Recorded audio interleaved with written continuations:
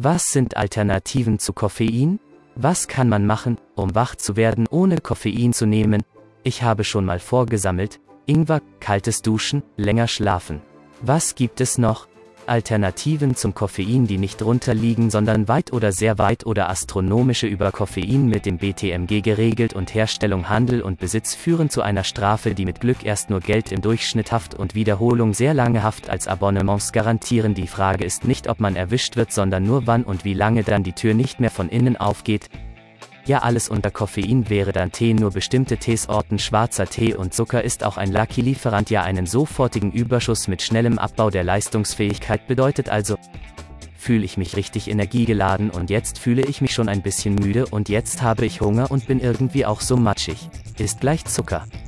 Da fällt mir gerade nichts mehr ein auf ein gesunder Lebensstil dazu gesunde Ernährung und ein guter Schlaf-Nacht-Rhythmus mit Erholungsmöglichkeit kann kein YouTube-Video bis man ein pennt und YouTube-Videos laufen während man pennt so dass man gar nicht tief schläft und dann möglichst wenig Schlaf mit möglichst wenig Tiefschlafphasen und noch den Wecker per Fußtaster gleich Stuhl vorher damit man nochmal richtig schön aufwacht aufwacht aufwacht danke möchte muss ich an der Ruhe auftanken.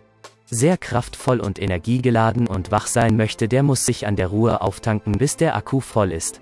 Früher ins Bett gehen, tagsüber in die Natur gehen, Sport treiben. Das Problem bei Koffein ist, dass es funktioniert wie ein Überziehungskredit, es erlaubt es dir, dein Leistungskonto kurzzeitig zu überziehen, aber du musst es dann mit Zinsen wieder zurückzahlen. So gesehen ist das generell keine gute Idee. Wenn dir dieses Video gefallen hat, dann lass doch gerne ein Abo und ein Like da. Außerdem kannst du hier noch weitere Videos angucken.